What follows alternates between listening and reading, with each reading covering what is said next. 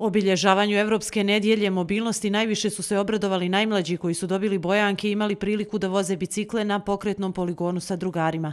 U Republičkoj agenciji za bezbjednost saobraćaja ističu da u ovoj godini nije bilo smrtno stradale djece pješaka, a situacija je slična i kad je riječ o biciklistima. Međutim, motociklisti su najviše stradali u ovoj godini. Po uzoru na eh, evropske gradove imamo gradove po mjeri građana, a ne gradove po mjeri automobila dakle da smanjimo upotrebu e, putskog vozila za kretanje, a da za kretanje koristimo ove druge alternativne vidove prevoza.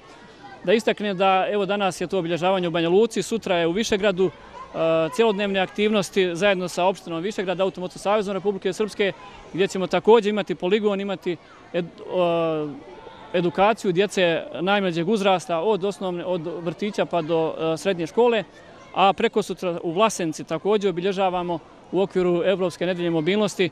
U Republici Srpskoj svake godine sve više registrovanih vozila. Samo u Banja Luci ima preko 70.000.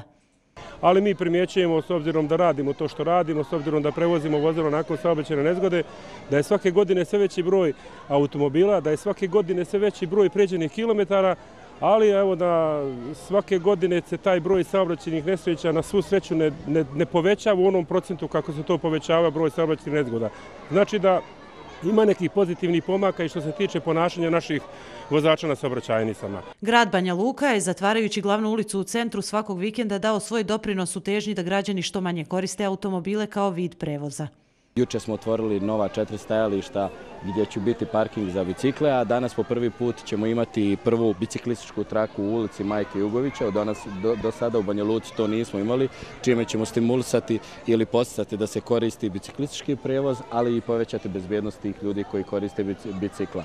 Također, danas kada je u pitanju uh, ovdje gdje se mi nalazimo na trgu krajine zajedno s ovim mališanima, radimo sa onim, na onim stvarima koji su veoma bitne, to je bezbjednost djece u saobraćaju i to je nešto što promovišemo svake godine. Svakodnevno Svakodnevno je pojačano prisustvo policijskih službenika kako u blizini školskih, odnosno vaspitno-obrazovnih ustanova, tako i na putnim pravcima kojima se kreći, kreću školska djeca.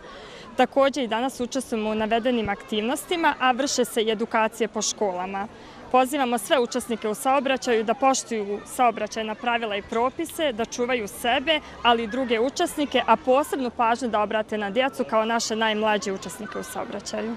Možda će ovakve kampanje više natirati građane da žive zdravije, da više hodaju ili voze bicikle, čime će se smanjiti i zagađenost vazduha.